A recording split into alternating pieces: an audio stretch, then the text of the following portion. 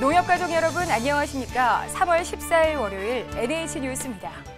지난 4일 경북 울진에서 발생해 강원도 삼척으로 확산한 산불로 서울 면적의 4분의 1 이상이 소실되면서 많은 피해가 발생했습니다. 대형 산불에 농업인들의 피해도 속출하자 이성희 농협중앙회장이 대책 마련을 위해 현장을 찾았습니다. 지난 5일 이성희 농협중앙회장이 산불로 가장 큰 피해를 입은 경북 울진을 비롯해 강원 삼척 동해 지역을 방문했습니다. 이번 산불은 겨울 가뭄인 상황에 강한 바람까지 불면서 피해가 컸습니다. 그리고 가정집 다 전소되었고 불이 순식간에 넘어가고 도망차 오고 할 시간도 없었어요. 겨우 뭐 몸만 빠져나갈 단계, 단계가 됐어요. 막. 요 동해안에 불난리 몇 번 겪 어봤어도 이렇게 빨리 오는 거는 진짜 처음 봤어요.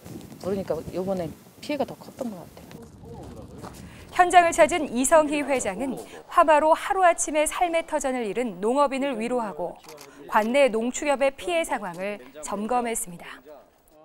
놀라셨죠 많이? 아 우시지 마세요. 빨리 복구될 수 있도록 저희도 농협에서 힘을 저, 저 총력을 경주할 테니까 그렇게 하시고 너무 상심 하시지 말고. 예? 네. 네. 아 우시지 마세요. 어, 힘내시고요. 예?